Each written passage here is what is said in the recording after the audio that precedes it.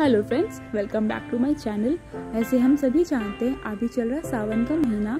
तो मैंने सोचा क्यों ना अभी जो व्रत कर रहे उनके लिए कुछ अलग से बनाया जाए। तो मैंने आज बनाया है dry fruit fasting milk shake ये काफ़ी यम्मी और टेस्टी मिल्क शेक है। ये आपको काफ़ी एनर्जी देगा। तो चलिए बनाते हैं। सबसे पहले उसके लिए लेंगे कैशू मतलब काजू, डेट्स मतलब खजूर वॉलट्स मतलब अखरोट और आलमंड मतलब बादाम, पिस्ता और रेजिन्स मतलब किशमिश।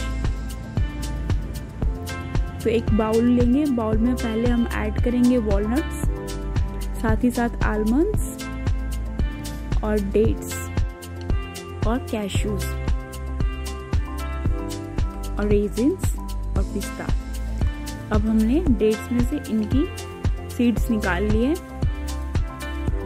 अब मैंने ऐड किए हैं दो ग्लास हॉट मिल्क। साथ ही साथ इसमें केसर ऐड किया है, ये बिल्कुल ऑप्शनल है। अब इसको मिला के थर्टी मिनट्स के लिए ढक के रख देंगे। जैसे कि आप देख सकते हो, हमारे थर्टी मिनट्स हो गए हैं। अब हम ग्राइंडर में ट्रांसफ़र करेंगे। अब इसमें ऐड किया है बनाना के स्लाइसेस साथ ही साथ इसमें ऐड करेंगे आइस क्यूब्स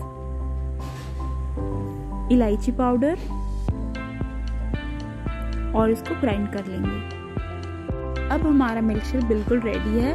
अब इसे हम सर्व करेंगे।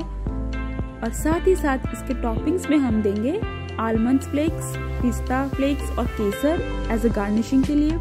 अगर आपको हमारी रेसिपी अच्छी लगी तो प्लीज़ आप भी घर पे ज़रूर ट्राई करें और कमेंट करके ज़रूर बताएँ आपको कैसी लगी। Thanks for watching